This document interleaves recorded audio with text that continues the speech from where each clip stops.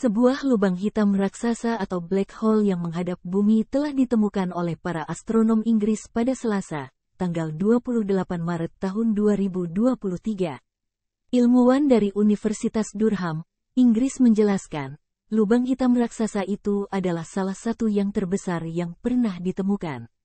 Lokasinya berada di galaksi PBCJ 2333.9-2343.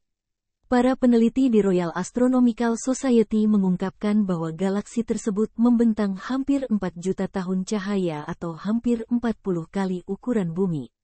Galaksi tersebut awalnya diklasifikasikan sebagai galaksi radio, tetapi para ilmuwan menyadari bahwa fenomena luar angkasa telah berputar 90 derajat dan sekarang mengarah ke pusat bumi.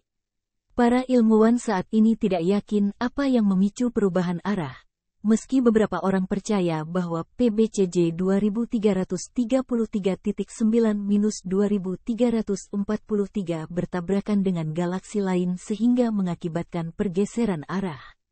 Belum diketahui dengan jelas bagaimana arah lubang hitam akan mempengaruhi bumi.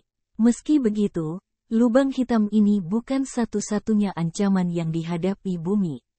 Menurut data baru, Tiga asteroid dekat bumi atau Near Earth Asteroids, NEA, ditemukan di tata surya bagian dalam dan dapat menimbulkan risiko serius bagi bumi. Terima kasih sudah nonton. Jangan lupa like, subscribe, dan share ya.